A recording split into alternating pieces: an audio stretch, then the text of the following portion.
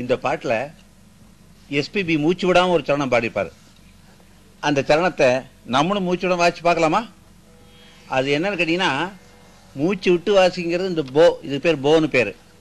இதை கட் பண்ணி எடுத்துட்டு எடுத்து வாசிக்கிறது மூச்சு விட்டு வாசிக்கிற மாதிரி.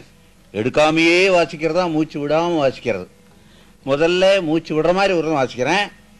அதுக்கப்புறம் மூச்சு விடாமல் ஒரு வாசிக்கிறேன். ஆனால் இங்கே பார்த்தா தான் தெரியும். இதை பார்க்கணும். ரெடி